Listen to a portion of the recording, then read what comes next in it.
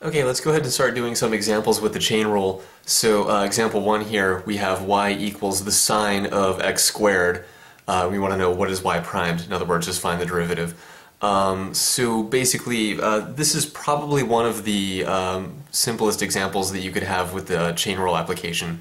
Um, you know, you have the, instead of just the sine of x, you have the sine of x squared. So here's a function x squared, and it's sitting inside of another function sine. Okay, so uh, we have a function of a function. Um, and there's a couple different ways to think about how to do this. There's really only one way to use the chain rule, right? But there's a couple different ways to uh, think about it or talk about it. Uh, and because sine of x squared is kind of a uh, simple example compared to other ones that we could have, um, we'll do this a couple different ways. So let's zoom out a little bit. Um, first, uh, let's go ahead and say this. So let's erase this first uh, and we have y equals sine of x squared. So um, basically, when we do the chain rule, we have a function composition. So we have f of g of x. So f uh, is going to be our outside function. And what's our outside function? Well, it's the sine. Okay, because uh, if we start at the x, okay, first we square it. That's the first thing we do. And then after that, uh, we take a sine. So uh, f is the sine. And then uh, g, the inside function, is going to be squaring. All right. So in other words, uh, f of x is the sine of x, all right, and uh, g of x is x squared. Okay, so y actually, um, y is sine of x squared, and that's uh, f of g of x. okay? Um, because f of x is sine of x and g of x is x squared. So f of g of x is going to be sine of g of x, right? f of g of x is sine of g of x, which is sine of x squared. All right, so um, that's pretty much what's going on here. So uh, the chain rule tells us that the derivative, uh, y primed, chain rule tells us that that equals f primed of g of x times g primed of x. All right. Um, well, what are these things here? Well, f of x is sine of x, so let's zoom in a little bit. Uh, f prime of x, we know, is cosine of x, right? Okay.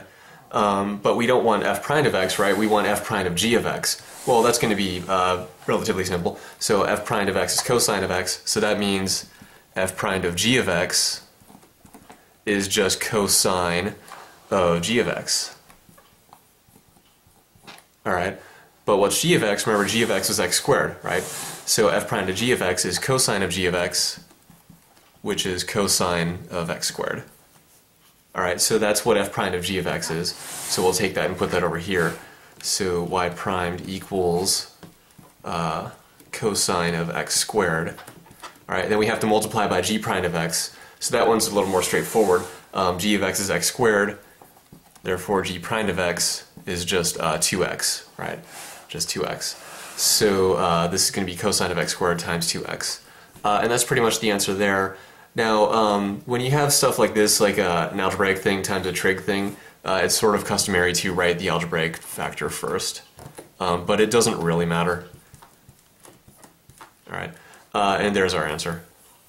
So if y is the sine of x squared, like this up here, then y primed, the derivative, is equal to 2x times the cosine of x squared.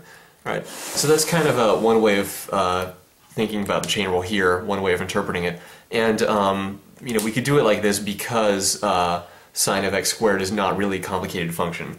But for more complicated functions, uh, it's going to be harder to identify, you know, f and g. Plus, uh, you know, you might have uh, functions inside of functions inside of functions and so on and so forth. So here we just have one function inside of one other one and that's it. But you might have really complicated expressions um, that would make it difficult to do this kind of uh, process here. But um, let's talk about this same example in another way now. Uh, and this other way that we're going to do um, is how we'll pretty much do the rest of the examples also.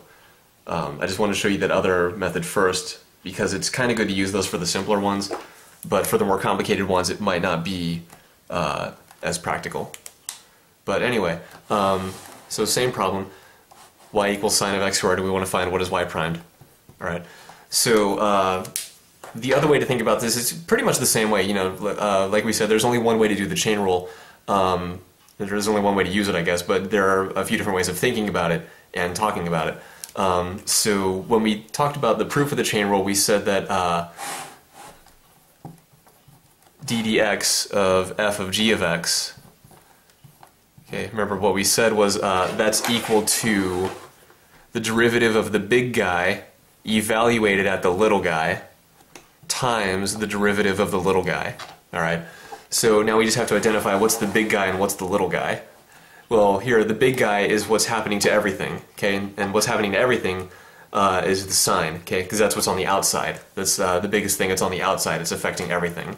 Here, the squared only affects the x and not the sine. So the squared is not the big guy. Squared is the little guy because it's inside of the sine, and the squared doesn't affect everything, just the x. Okay, so the big guy is going to be sine. So, um, okay, the chain rule says derivative of the big guy, and what's the derivative of sine? It's cosine, all right? And where are we evaluating cosine? We're evaluating it at the little guy. What is the little guy? It's x squared. Okay. So this is the derivative of the big guy evaluated at the little guy, and then multiply it by the derivative of the little guy. Uh, the little guy is x squared, so the derivative of the little guy is 2x. Uh, and we see that uh, that's the same answer we had before. Okay? So um, it's pretty much the same thing, but uh, just kind of, you know, it's a different way of thinking about it, and of course we get the same answer, right? Um, so that's two different ways of thinking about the uh, chain rule here. And for the rest of the examples that come up, we'll just do it the second way here. Um, because as the functions get more complicated, doing it the first way we talked about becomes a little more difficult uh, and pretty much impractical.